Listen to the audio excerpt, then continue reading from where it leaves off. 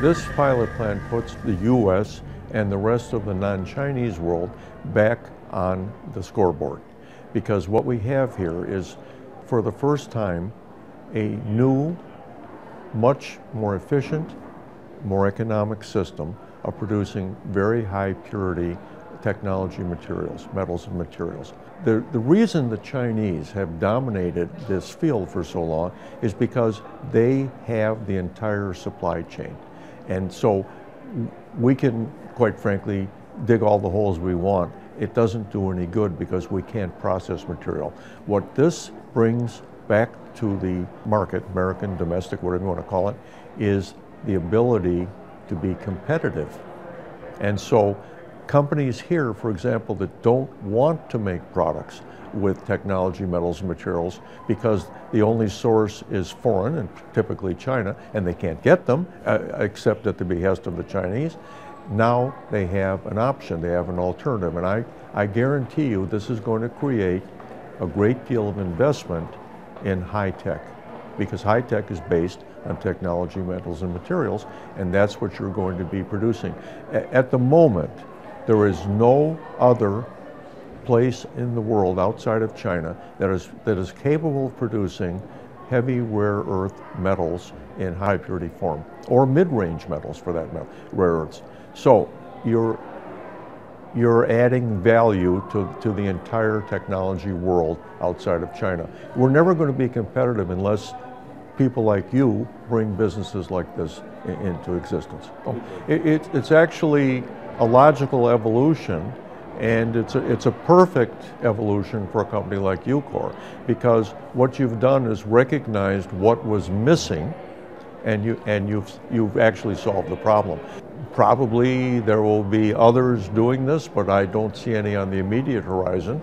And I, I think that right now, uh, Ucore is basically the company to beat in, in high technology processing of technology materials. And I, I congratulate you because it, it is a, a wonderful achievement. What I perceive in your venture here is that you've become resource agnostic. You're not tethered to any particular material. You, you can do the universe of, of, of chemical elements, which is, which is wonderful. Now, the evolution of our civilization is towards technology, innovative technology. These, these are the current uh, hot, hot words in, in uh, development. And this is exactly what the, the, developed countries' markets are looking for, exactly what you're doing. So you're, you're right on point. And I don't see how you cannot be successful.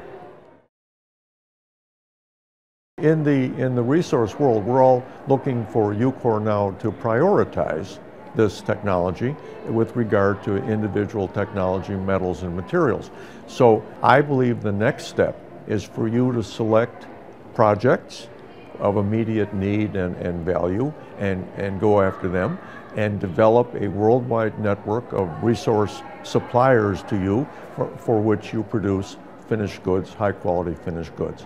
If you ask me what in particular, well, I think you should start with rare earths because you have the most experience in that. But certainly in, in this era of clean tech and green technology, we're looking for lithium, we're looking for cobalt, i.e. battery materials. Quite frankly, we're looking to separate hafnium and zirconium for the future of, of energy production. And so there, there is a huge area that, that you, can, you can get into. And we're all looking forward to see where you start and how, how you develop. Uh, I know you've got the, uh, your pilot plant in Utah.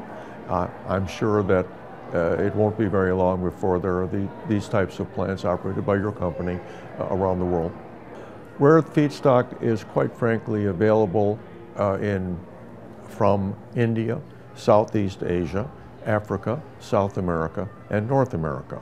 Uh, and Australia, sorry. In other words, the entire world. I'm, I'm, I'm leaving out China because they're not exporting any, any raw materials.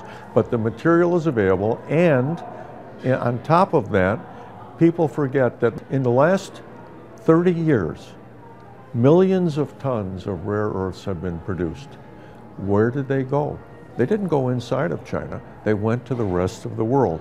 And quite frankly, millions of tons of rare earths are still in the rest of the world in the form of end of life materials, scrap as it's called, and that is a phenomenal resource for, for your company because there are thousands of tons of those materials available. There's no technology until now to recycle them. So I'm, I'm sure you've got that on your, on your horizon.